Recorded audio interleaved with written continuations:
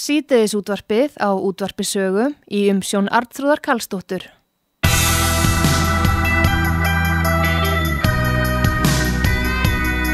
Stundum töpum við, stundum rösum við, en þá rýsum við strax upp á ný. En þá kraft meiri, en þá kjark meiri, en þá gáður við sigurinn í.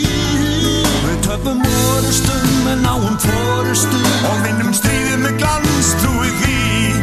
Við getum bóknað en ekki brotnað. Því endað er takmað svo skílaust í hug okkar er.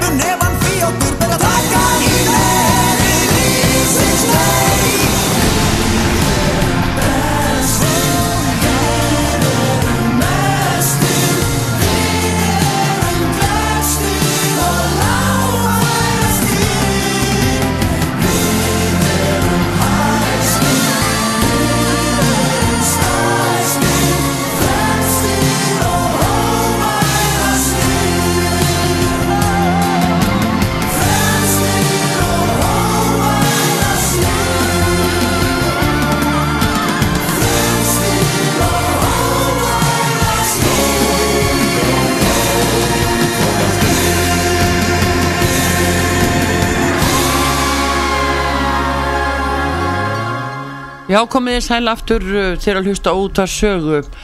Uh, Ástór Magnússon, fórsetaframbjöðandi, er gestur hér og við erum búin að opna fyrir síman og eh, uh, hlustandur geta komið spurninga fyrir Ástór í síma 5881994 og við leggjum áherslu á að það er spurningar verði tengdar embætti fósetta Íslands ef að hann er því kjörin, hann er sem sagt fósettaframbjöðandi, spurningar sem tengjast því ef hann er því fósetti, öðru leiti erum við ekki að taka við spurningum.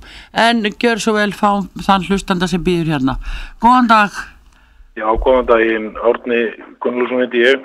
sallablesaðar ástóri hérna, gjör svo vel. Þakkaði fyrir ástóður, Já, komdu sæl. Sæll. Mér langar að spyrja þig aðeins um hérna framkvæmdina með, hérna hvernig þú hugsaðir framkvæmdina á embættinu. já, Nú er ég hérna, sko, það er alveg greið, náttúrulega bara óumdeilanlegt að, stjórnarskráum gefur fórsetanum mjög mikil völd og ég er alveg sammálaður þinn, þinni túlkun á því. mhm, og það er þetta með hérna til dæmis að, að með grein númer 24 mhm, nei, tu- fyrirgeðu hérna, já, ég man ekki númer hvað hann er hérna, það- í sambandi að leggja fra, fram frumvart til alþingis. Að því það stendur að, að hérna í 13. minni mig að fórsýtið lætur ráð þeirra framkvæma vald sitt. Já, það náttúrulega dettur um sjálfsík gegnum 27. greinuna því að ráð þeirra getur ekki framkvæmt að skrifa undir lög sem að hann er að fara að byggja fórsetinum að skrifa undir skilur mhm, og hérna þá langar mig að spyrja því hvernig hérna hvernig gæti það í praxís orðið ef að þú værir fórseti með stjórn sem væri ansnúin þér hérna, og þú vilti leggja frumvarp til alþingis og gætu ráþeirar þá neita að þú, vilti þá að láta ráþeira eða ekki framkvæma það? Eða hvernig fram, það er, mér leikur svolítið fólkið að vita hvernig það atriði til dæmis þið framkvæmt. Já, við, við erum náttúrulega með alþingi þar sem er bæði sko, uh, hérna, meiri hlutin og minni hlutin já, já, og uh, ef að frumvarp er lagt fram á alþingi þá uh, hérna getur náttúrulega uh, geta flutningsmenn bæði verið úr meiri hluta eða minni hluta, ekki satt? jú, jú. Þannig að, að nú hefur aldrei reynd á þetta en það er mjög áhugavert að láta reyna á þetta. Og, og ef við tækjum til dæmis bara málefni sem ég hef stórar áhyggjur af sem ég var að tala um hérna áðan og það er það að það er búið ofiselja landið undir Erlend Hervald og það er verið að opna herstöðin á Keflavík aftur. Já, já, og uh, þetta er verið að gera án þess að koma til fósitas ég veit ekki til að verið neinn lögsett frekar en það eh, áður þegar það var farið í stríði gegn Írak. Og mjög ámælisvert að það var gert án laga.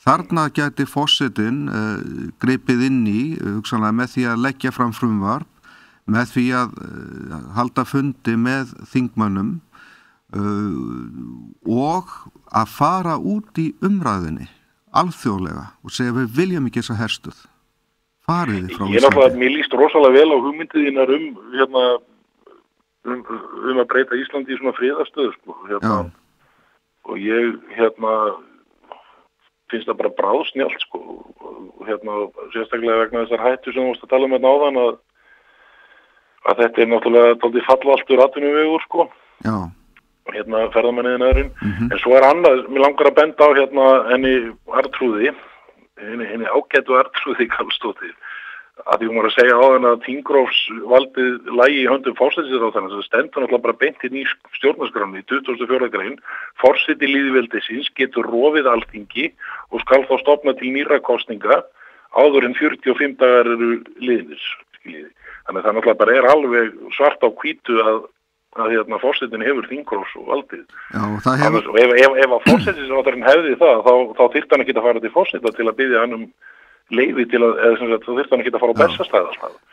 Þetta er alveg, alveg rétt hjá þér og, en það er hérna, það er svolítið áhugavert í þessu samhengi að þegar að var talað um þetta sinjunavald og, og að senda lög í þjóðaratkvæðagreyslu ég held að ég verið fyrsti fórsetaframbjörn til að tala um þetta sínum tíma 96 og, uh, og þá voru miklar deilur um þetta og það var verið að tefla fram fræðumönnum úr háskólan sem sögðu þetta væri ekki hægt og, og það væri hefðir og þetta væri bara ekki hægt og svo fræðis og ég sagði víst er þetta hægt, þetta stendur þarna, það, hann getur gert þetta.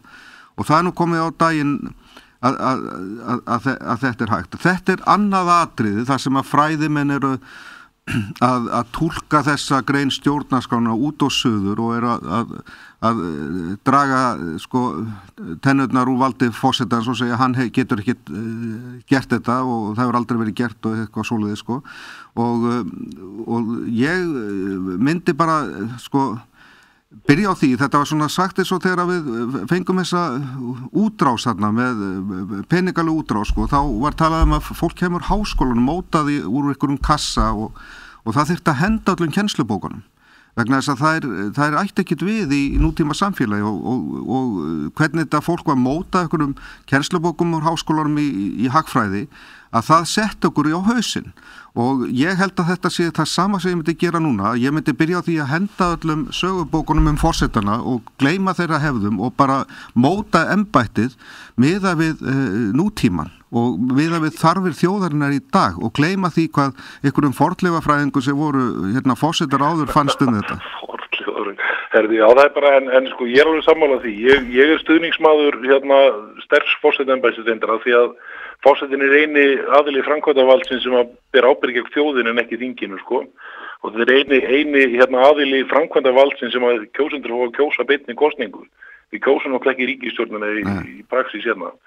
En það er bara annað í þessu sem að ég hérna var að pæla að náttúrulega þegar þetta var gert í fyrsta sinn, þegar Ólafur hérna 2004, að þá náttúrulega fór allt í fár og, og hérna þeir þrýr þarna, hann Halldór og, og Davíð og Ólafur í mínum huga brutu stjórnarskrána hérna, með því að þegar löginu voru dregin tilbaka og þetta áttu Ólafur að standa fast á því og segja ég get ekki látið ykkur draga þetta tilbaka því að samkvæmt 27. greininni líkur málið núna í höndum kjósendaskilunum. Já, það er svolítið blettur á þessari sögu sko að, að, að þetta, var, eh, sko, þetta var gert fyrir uh, hérna uh, þá sem að stöddu uh, Ólaf til embætti sko, hans stöðningsmanna, það er fjölmjöla fyrirtæki 365 miðlar, það hétt áður Norðurljós og, og framkvæmtastjóri þess fyrirtækis var kostningastjóri Ólafs, þannig að þeir, þeir voru náttúrulega stóða bak við þetta frambóð og, uh, og svo beitir að neitunvaldinu fyrir þá. Það er fyrsta sinn sem þetta er nota og það eru þetta blettur á þessu. Og, og uh, s- svolítið slæmt að það skildi hafa verið fyrsta máli til að riðja þessa braut. Það hefði ekki verið eitthvað mál sem að virkilega sko uh, var svona uh, ekki tengt einhverjum sér hagsmunum fórsetans eða hans stuðningsmanna.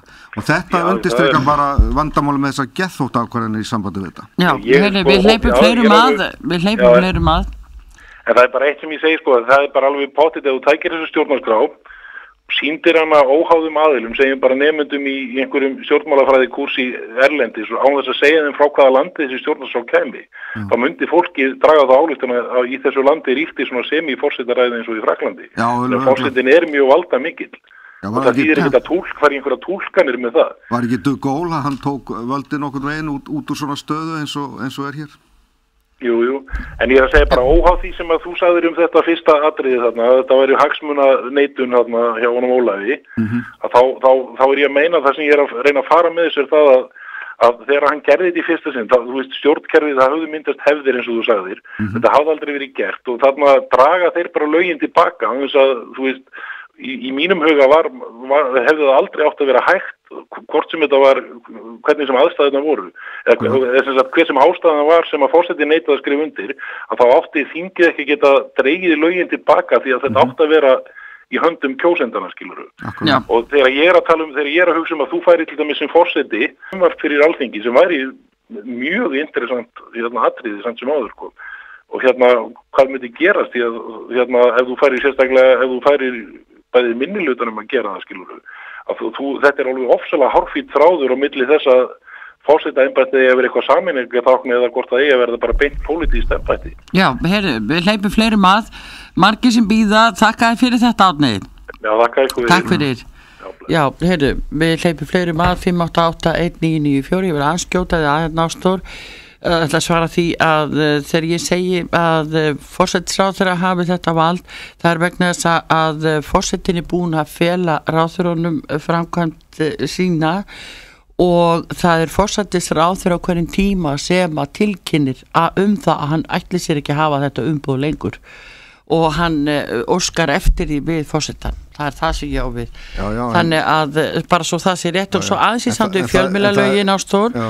þá er líka að segja við þig svo að því þú segir að það hafi nú bara verið gert fyrir 365 miðla það voru náttúrulega 20.000 sem skrifuðu undir og ekki voru allir þeir hjá og 365 Já, já, ég- og, og fjölmiðlalögin eins og þau voru sett þarna fram þau lögðu óhemju sérkillega skildur á eigandur fjölmiðla voru mjög óælilegar þeir áttu, ef þeir eru ekki búin að selja og splitta upp fyrirtækjunum á hvað þremi mánuðu þá myndi ríki gera það skilur Mhm. þannig að þetta voru náttúrulega ekki lög sem nokkuð maður gætt gengið að með til, til það, en, en eignaréttar það var samt svona uh, slæmt í þessu samhengi að þetta var tengdi svona fórsetanum beint þessir aðeila sem að hafðu hagsmunan að gæta með, með uh, Já, en það náttúrulega, þetta voru 20.000 og þannig að þetta Já, voru en, nú en þá komum við aftur að það með fjölmiðluna, hvað Já. er hægt að misnóta og það Já, er hægt að já. fá fólki til að gera hvað sem er með fjölmiðlum. Það er líka hægt með uh, samfélagsmiðlum í dag og er gert.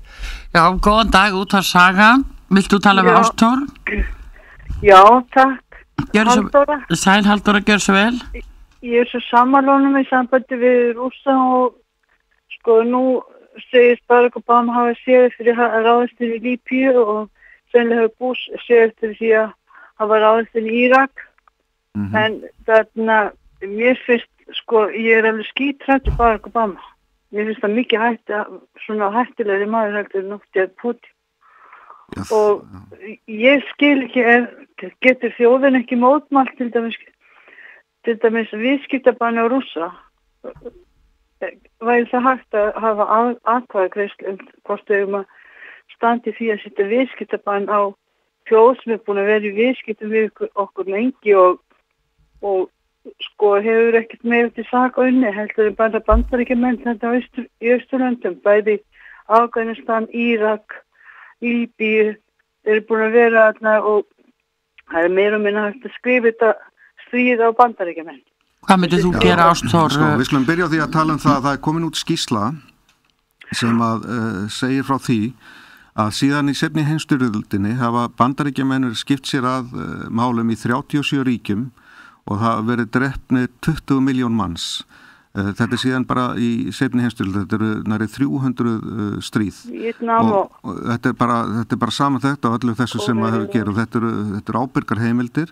Uh, við getum hótt á aðra staðarind að, um, að bandaríkjamenn uh, eru með um 400 herstöðar utan heimalandsins og rússar eru með líklegast tvær eða þrjár og, og, og, þar á meðal uh, stað eins og í uh, Sýrlandi þess að þeim voru að vinna gegn hriðiverkunum. Þannig að, að uh, Júkraníu deilan er sprottin út af svona íhlutun frá bandaríkjunum. Þessa, þessi, uh, þessar uppákomi sem hafa verið að gerast undanfærið þar sem að herþóttur hafa verið að koma í ná í það, það er uh, skip frá, frá bandaríkjunum sem eru í eistra, eistrasalti sko þúsundir mílna frá bandaríkjunum, ekkert nálagt þeirra hefum en þeir eru nálagt Það er í Eh, það er sama gerast í Kína það, það voru upp að koma þar.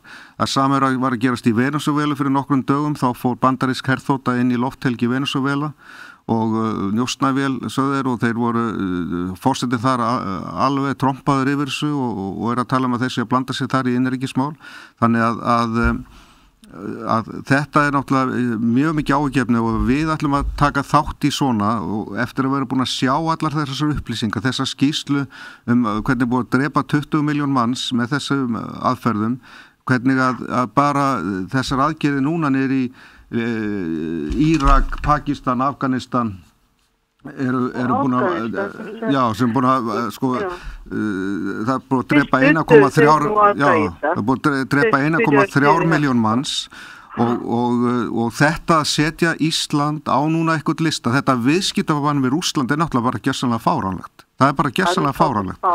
og það er jafn fáránlegt að að það er að styðja einhverja uppreisnamenn ef það er, ef það er fórseti sem er löglega kjörin í einhverju landi þá á ekki að, að eiga ekki önnu ríki að vera ráskast með það að styðja einhverja uppreist gegn honum það, slíkt að á bara ekki vera til.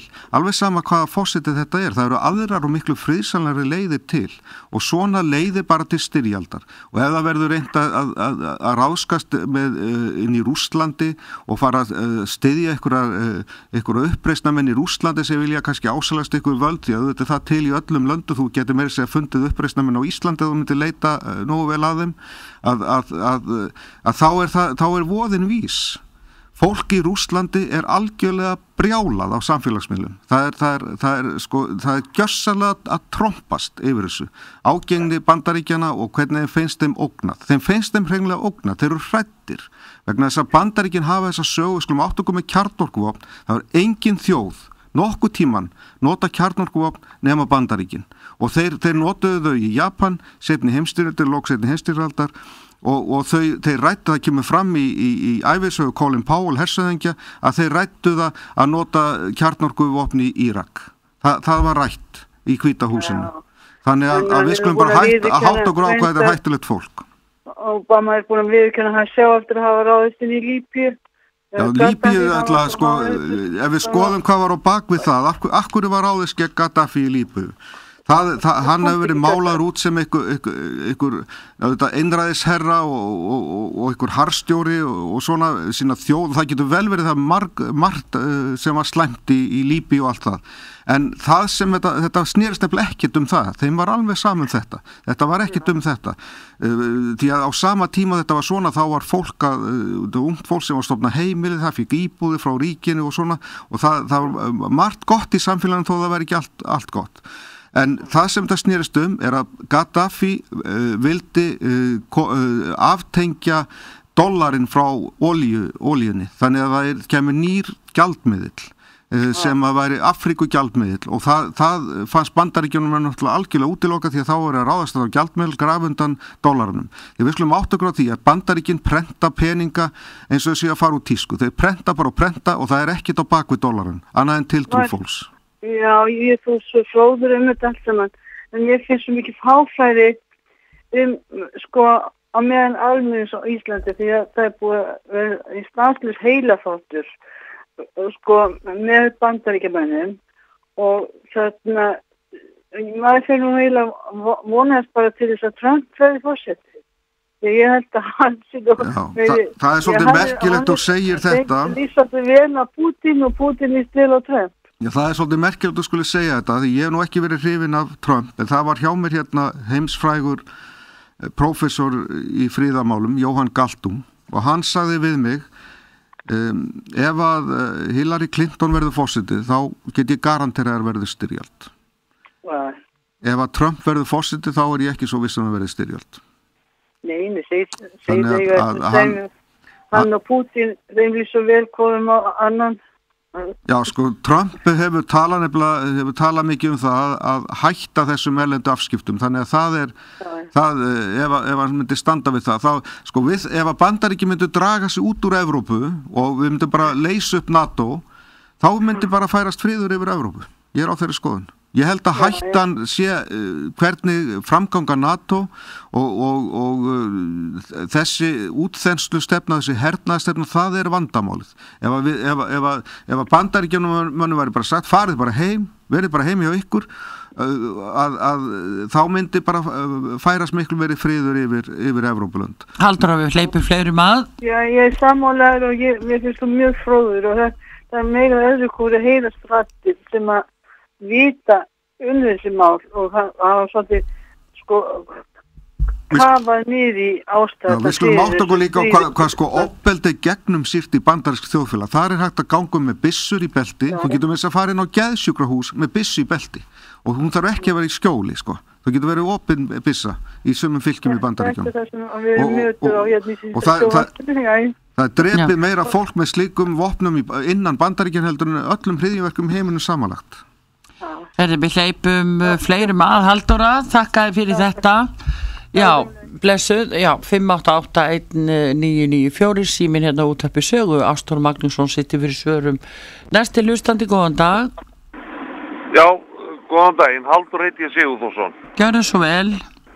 Uh, Ástór, mér langar að spyrja þetta spurninga. Það er varðandi uh, viðskiptabannið á Rúsland.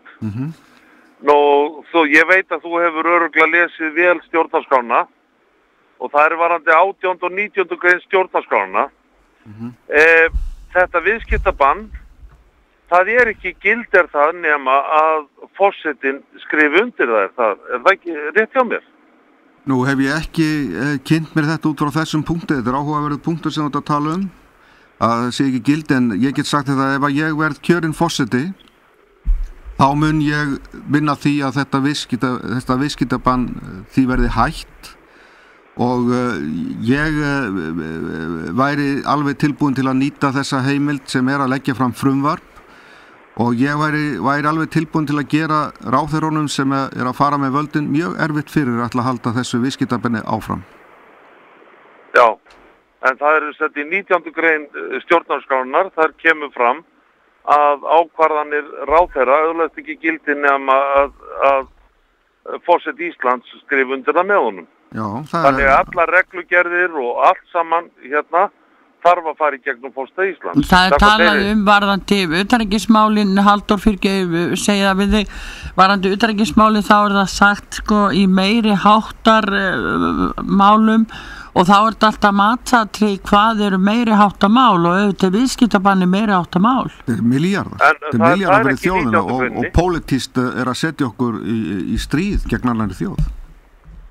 Já. er mjög stórt mál.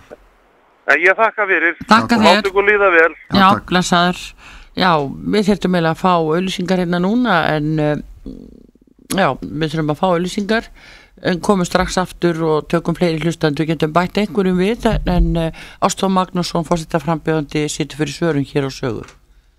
Útvarp Saga í Færium útvarpsaga.is Þú farð ekta ítalskar pizzur, þunnbotna, stökkar og gyrnilegar á Kringlukráni. Komdu og kitlaðu bræðlaukana Kringlukráin á góðri stund. Er afmæli, fundur eða skýrt framöndan? Skoðaðu úrvalið og pantaðu vefsíðun okkar bakarmeistarin.is One Systems býður hagkvæmar lausnir í stjálamálum fyrirtækja og sveitarfélaga með áherslu á reykjanleika, auðveldan aðgang og gegnsægi. One Systems íslenskur hugbúnaður fyrir Íslendinga. Eru vorverkin framundan? Er komin tíma á framkvæmdir í gardinum og þarf að skipta um lagnir? Er innkeislan í ólægi eða ert í byggingahugleðingum? Við bjóðum upp á alla almenna jarðvinnu. Markmið okkar er heiðarleiki og vöndu vinnubröð.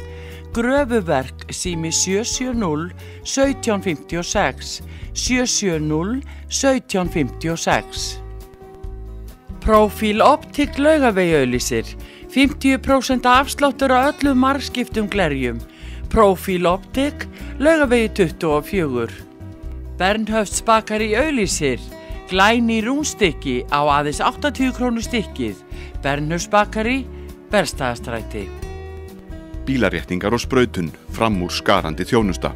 Bílaréttingar og sprautun Sævars skútuvogi, bílarétting.is.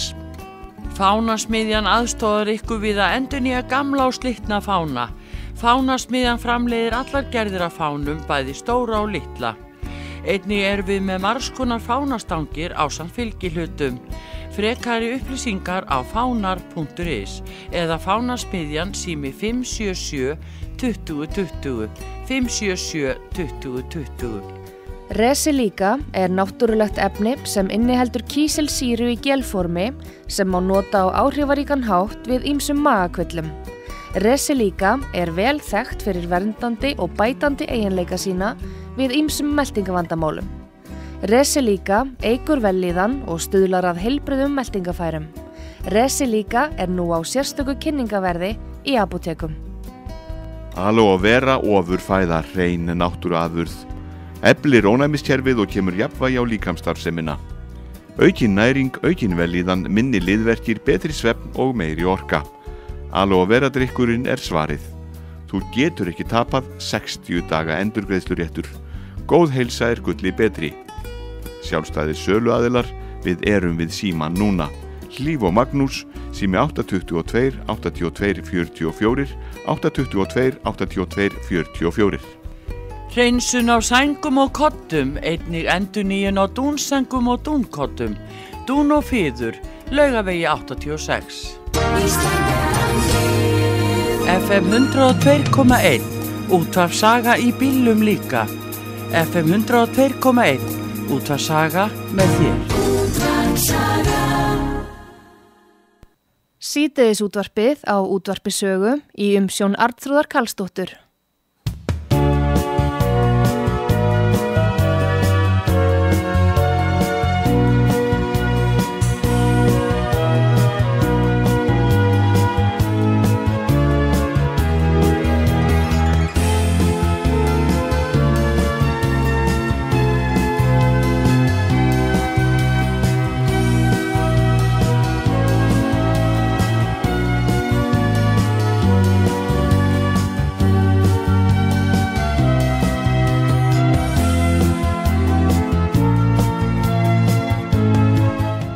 Komið þið sæl aftur, við erum opinn fyrir síman Ástór Magnússon, fórsetaframbjöðandi. Tala við hlustendur 588-1994, við getum bætt einhverjum hér við, góðan dag. Já, góðan dag. Þú ætlar að tala við Hérna- Ástór, gjör svo vel. Já, takk. Ástór, Já, hefði þú samtidigt þetta hérna lögin á rúsa? uh, að setja viðskiptafan á rúsa? Já. Nei, alls ekki, nei. Mér finnst það alveg fjárstað. Þetta er bæði að valda okkur stórtjóni fjárhagslega, íslensku Mhm. þjóðinni uh, og, og, í byggðum landsins þar sem að fiskveðar eru styrtaðar, þetta, þetta er að valda stórtjóni. Þetta er, þetta er jafnvel að eðalegja fyrir viðskiptasamböndum uh, sem að getur verið mjög erfitt að byggja upp aftur í langan tíma Já, og svo finnst mér þetta bara ekki réttlát refsiðagir gegn rúsum vegna þess að, að málið er það að eh, eins og ég var að lýsa hérna áðan að það ástandið í Rúslandi á rætu sínar að rekja til þess að bandaríkjamenn þeir settu 5 miljardar dollara. Þa, það eru sko uh, það, það eru uh, næri þúsund miljardar íslenskar króna í það að æsa til uppreisna gegn fósettanum í Júkraníu og og það var vopnuð uppreisn uh, í kjölfarið á þessu gegn fósettanum sem að neitaði að skrifundi lög til að ganga í Evrópusambandið, hann vildi ekki ganga í Evrópusambandið vildi frekar gera samninga við rúsa halla sér frekar að þeim. Allavega vildi hann skoða það mál betur, það sagði hann. Ég held að hann hafi nokkið búin að gefa endalegt, en þá var bara ráðist á hann með þessum hætti og honum Já. kúplað út og, og, kentum að hann væri svo spiltur og svo framvegis sem getur vel verið hann hafi verið. Það ég, ekki, ég veit ekkit um það, það, það er bara aukaðri, hann var, hann var kjörinn fósitt í landinu og, og bandaríkjamenn hafa ekkert erindi að senda sína leini þjónustu inn í ykkur ríki og grafa undan löglega kjörnum fósitt og setja hann af. Og, og síðan uh, koma uh, þarna uppreista með til valda og við sjá, við getum bara séð eins og frá myndir frá þinginu í Júkraníu, það er bara daglegt brauð nánast að það séu bara handalögmál. Og núna er maður farin að heyra fregnir af því að það sé að byrja uppreist gegn uppreistamönnunum sem að sitja við völd með stuðningi meðal annars okkar Íslendinga Þannig að þetta Já. viðskiptabann á engan rétt á sér.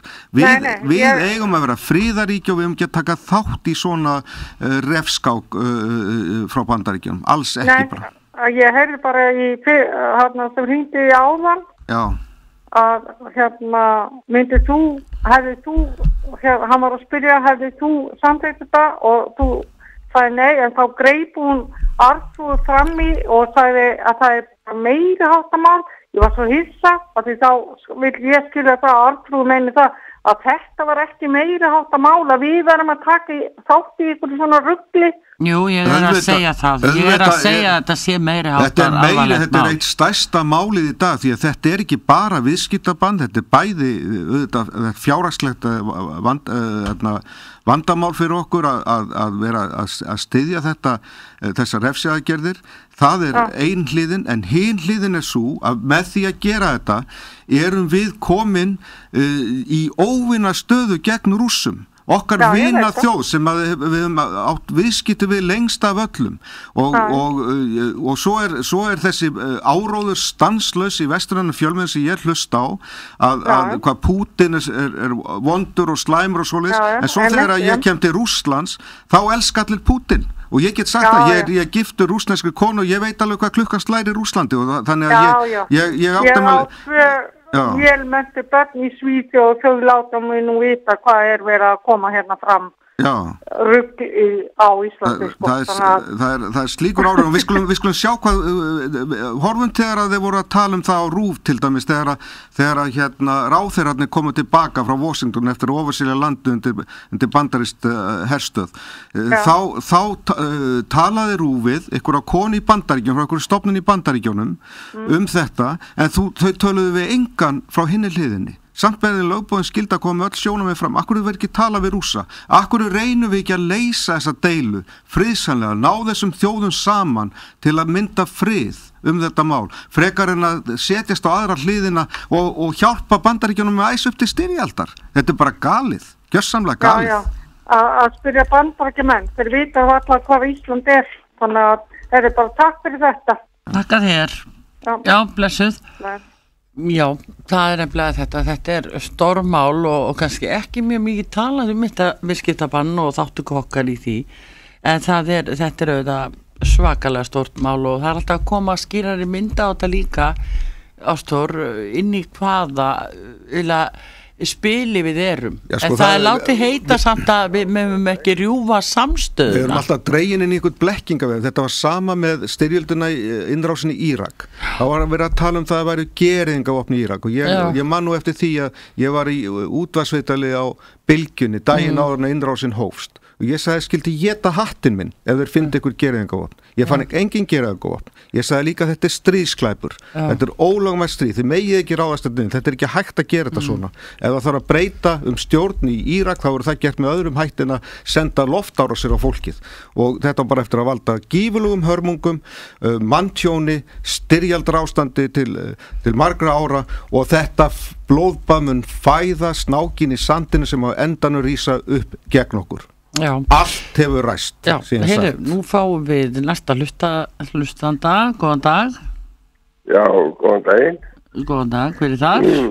Uh, Kristinn heit ég, ég ætla að hérna, já, ég hérna líst vel á þetta ástór, ástór sé þetta hjá ykkur. Uh, ég var að velta því fyrir mig að maður kom með eina spurningu til hans. Gjör svo vel Takk fyrir það. Ég vil okkar vita hvort að, sagt, fórseta framgjóði væri grætt. Græn hvort ég sé geimvera mennur bara- Er þetta að menna hvort ég sé geimvera? Nei, nei, nei, nei, nei, nei. Hvort það, hérna- sé náttúruvendarsinni, er þetta að menna það? Já, já. Já, ég, auðvitað er ég náttúruvendarsinni og ég, ég er fylgjandi því að um, eh, ef þú hefur hlusta á það sem ég talaði um þá ég talaði um að fósitt Íslands að beita sér í fríðamálum, mannréttarbálum, líðræðisumbótum og náttúruvend og, og þannig ég er, ég er fylgjandi því og til dæmis ef við tökum mál eins og kjáranhjúkavirkjunina sem að, að eh, fór í gegn hjá fórsatanum að þess að hann uh, væri nokkur uh, þjóðaratkvæðagreislum það, þá er ég á móti slíku, þetta var, voru óaftur kræfar eh, uh, aðgerðir á náttúrunni sem var verið að vinna. Ég er ekkit að segja að ég hafi verið móti virkuninni sjálfur sér, ég ekkit, hef ekkit skoðað það þannig að ég viti það. En ég, mér finnst þetta samt mál af þeim mælikvarða og sem snertir þetta til, framtíðar náttúruna að þetta er mál sem að þjóðin hefði átt að, að fá að kjósa um. Já, já, já það, það er mikið já, auðvitað, við búum náttúrulega í líðræðsríki og, og hérna, við þurfum að leggja eitthvað til málan og sjálf í sjálf þá hluti. Ég hérna, það sem mér langar svona mest að spyrja að stór, uh, það er í sjálf að við, sko, ég geti mér rafmagnsbíl fyrir árið síðan og ég var að veltaði fyrir mig hvort ég geti komið stringin í kringu landið á honum það þarf að setja upp stöðvaring og þrangað í þéttbíli. Uh, Ertu styðjandi þess máls? að sjálfsögðu, mér finnst að við eigum náttúrulega að reyna að gera allt til þess að útrýma bara bensín og dísilbílum. Uh, dísilbílar eru nú taldið menga sko meira en bensínbílar uh, og, og hérna í sumum borgum er verið að banna þá nema þá einhverjum kannski einhverjum stuttu glukkum stuttum tíma dagsins. Þannig að ég, mér finnst að Íslandingar eigi að gera allt sem hægt er til að styðja við hérna rafbíla þróun og, og vera óháð innflutu elsneti því að við skulum líka átt okkur á því ef að það kemur styrjaldar ástand sem að allt verið stefna til þá getur stöðvast innflutningur á hlutum eins og elsneti og þá, þá Já, stöðvast já. bara bílaflótin þannig að það er, það er úr rétti á fólki að huga því að vera á rafmaspíl og, og mér finnst þetta mjög förðulegt í raunni að, að ríkið hafi ekki sett ykkur að fjármunni og kraft í það að setja upp hlæðslustöðar víðum landi, en það er nú rétt að byrja. Ég held að hafi nú verið að koma ykkur ákvörðun. Það er ykkur, ykkur minni áttur upp á hvort það var 20 miljónar eitthvað sem á að setja í það núna sem er alveg ekki mikið. En þetta, þetta, þetta finnst mér að þurfa að gera gangskor í á næstu árum að, að, að, að fólk geti bara verið á sínum ramaspílum út um all land. Og ramaspílar eru að koma með lengri drækni, þeir eru sífælt að koma með lengri drækni þannig að, að ég held að á, á fáinum árum munum við sjá ramaspílan algjörlega taka yfir. Og svo þurfum við að skoða það hvort það er hægt að nota ramaspílar í skip eða einhver annað, annað heldur en ólíu Já, ég, það, hérna, ég var að veltaði fyrir mér sko, við getum tekið til þess eitt ekki álver og, og poppa, poppa því út og fara fram eitt elsniti, getur verið með svona, þú veist, vettni og, og súrefni og kvata og, og það er náttúrulega bara kvati fyrir elsniti, hvernig, sko, þú veist, ég verið að þetta er allt til og það þarf að íta þessu hlutum í gang. Ég er virkilega áhugur á því að þetta geti farið allt fjandast til þetta hjá okkur og þá er ekki eftir snúið, sko. Já, þú meinar að við göngum á langt á náttúrun í virkjunum og svona. Já. Já, sko það þarf allavega að stíga mjög valega til jarðar í þessu öllu saman og, og, og svo finnst mér náttúrulega líka annað sem að hefur nú aðeins verið umræðinu, það er samt ramaslínu sem er að leggja um landið og hálendið og svona. Mér finnst auðvitað væri eskilegra að reyna eins og hægt er þó það myndi kosta aðeins meira að setja það í jörðu sko til þess að náttúrun sér sem minnst óspilt og því að þetta er það sem að við byggjum okkar innkoma á í dag að stórum hluta, það er túrismin og, og, og myndrand efni, það er verið að tala um að opna hérna kveikmyndaver og svona, þetta er allt eftir að auka það að sé verið að mynda náttúruna. Þess að þurfum að ganga mjög varlega um hana og að mikillir virðingu.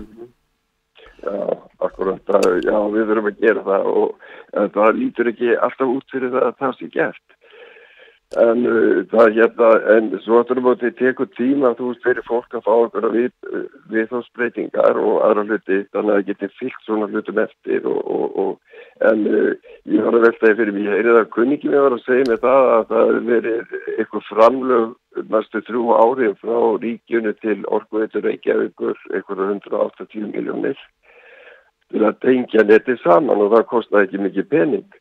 En ég var að veltaði fyrir mig, það eru til, sko, það eru til hlæðslustöðar sem eru kannski 6,6 kílóvatt og það kostar kannski 1 fjórða af þessari upphætt og það geta verið 20 talsins og hverju stað fyrir sig. Það er þetta ekki gert. Ekki, það eru, eru komna mjög ódýrar hlæðslustöðar. Ég hef nú verið að flytja inn búna frá fyrirtæki Breitlandi sem heitir Rolex sem að er að framleiða hlæðslustöður og er, þeir eru mjög vinsælir hjá svona bæjafjölugum, skólum, vestlunarmiðstöðum og svoleiðis og það er ekki bara ríki sko, ég þetta fyrirtæki vestlunarmiðstöðar, til dæmis að þú ferði í, í stórmarkaði, uh, kaupið matinn og svona, ef að bílastæðin þar væru með svona tengipunkta, það væri náttúrulega mjög jákvæð þróun og ég, ég held að það muni koma en Það, það, þeir þurfa kannski að skoða það það sem eru með vestlanir að þetta getur hjálpa til að draga fólki inn. Það er mjög þægilegt að geta farið vestlað, stungi bílunum sínum í samband og, og, og, og verið svo vestlað þannig að ég held að, ég held að þetta aukist. Ég hef verið að fá svona fyrirspyrði svolítið líka frá uh, þeim sem eru að hanna byggingar og svona, þeir eru að byrja að hugsa fyrir þessu í, í bílakjöllurum og svona í framtíðinni. Já, heyrðu, við þurfum að ljúka þessu en uh, þakka fyrir þetta Já. Takk fyrir það. Já, ástárum, við, við þurfum bara að ljúka þessu núna, tímin er búin, en þú ert aldrei búin að, að uh, tala og tala. Það er það sem gildir í þessu. Uh, hvernig líst þið svona á það sem eftir ertu bjassið? Já, ég uh, vona það að fólk vakni því að þetta er mikilvægt, mikilvægt þetta er líklegast mikilvægstu kostningar sem að nokkru sinni hafa farið fram á Íslandi fannst fórsettanbætti því að ég held að fólki sé að velja millir þess að fá einhvern veginn sem ég sem standa fastur fyrir og vera virkilegur klettur fyrir þjóðina á bestastöðum og láta ekki hvaða byll sem er farið gegn. Eða aðra sem að eru að hugsanlega verið keiftir inn í þetta og myndu, myndu styðja veru hers hérna þáttöku styrjöld uh, og þáttöku ímsum samningum sem gætu verið vafasam fyrir þjóðuna. Ég, ég trúi því að þjóðin eigi að síðasta orðið í stærstu málum og það er verið mitt leiðaljós að leita til þjóðarinnar ef að kæm ykkur lög til undirrituna sem að ég myndi telja að þjóðin þyrti að að uh, hafa umsögnum þá myndi ég jáfnvel óska eftir hjá ríkisútvarpun að fá að koma og ræða það við þjóðina og kall- kalla þá jáfnvel eftir undirskriftum ég teldi ástæði til. En ég myndi vinna eftir starfsreglum. Ég myndi setja mig reglur um það þannig að, að það þurfi vissan fjölda fólks til þess að, að eitthvað mál færi þjóðarhaldvegri Þakka ég hella fyrir þetta Ástór Magnússon og gangið er vel og við þakkum þér fyrir komin að hinga á út á sögu og ykkur lustendum þakkum fyrir áhörnina Artrúðu Kallstóttir hver ykkur? Og þakka fyrir sig. Takk maður í þessari útsendingu Arnar Sigurði Helgason verið í sæl. Útvarpsaga í Fraklandi Útvarpsaga í Fraklandi Útvarpsaga.is Þetta er engin spurning. Viðbótarlíferir er nöðsin. Allians tryggir þína framtíð. Þarf að rétta af leggsteinin? Granithöllin tekur að sér að rétta af leggsteina og beðrama. Sjá nánar á granithöllin.is Granithöllin leggsteinar. Bæjarraunni Hafnarfyrði. Verlistin auðlýsir, ný sending af blússum og sparimussum, úrval af síðbuksum, verlistin Suðlandsbraut 30. Hótel Grímsborgir auðlýsir, luxusgisting, fundarsalir, brúðkaup, ásáttíðir og afmælisveislur. Einn glæsilegasti gisti og veitingastæðu landsins, Hótel Grímsborgir við Sógið Grímsnesi, sími 555 7878, 555 7878 og info at grímsborgir.is. Kemi auðlýsir, smuroljur og smurefni fyrir öll faratæki. Kemi tunguhálsi 10, Reykjavík. Nú eru þeir komnir geitungarnir. Intensive Shoots skortýrafælan í hvítu spraybrúsónum vendar þig gegn þeim. Sláðu þrjár flugur í einu höggi því Intensive Shoots í hvítu spraybrúsónum hendar jamt fyrir börn sem fullorna, verndar húðina og fælir burtu skortýr. Intensive Shoots skortýrafælan í hvítu spraybrúsónum fæst í öllum apotekum. Verktakafyrirtæki þak.is tekur að sér þakviðgerðir, þakskipti, þakrennur og niðurföll, þakmálun, stíplulósun, húsamálun, flísalagnir sem og aðra smíðavinnu. Komum á staðin og gerum tilbóð ykkur að kostnaðalausu. Upplýsingar í síma 699 6980 699 6980 þak.is Bílaréttingar og sprautun, fram úr skarandi þjónusta. Bílaréttingar og sprautun Sævars skútuvogi, bílarétting.is Stiður þú útvarp sögu, frjálsa og óháða þjóðfélagsumræðu á Íslandi. Stöndum vörð um tjáningafrelsið, höfnum þöggun og reitskoðun. Styrtareikningur útvarp sögu er í Arjón banka, aðalútibúi borgartúni, banki 301, höfubók 26, reikningur 111100. Upplýsingar má finna á heimasíðu stöðvarinnar á útvarpsaga.is. Takk fyrir að hlusta. Útvarpsaga og útvarpsaga.is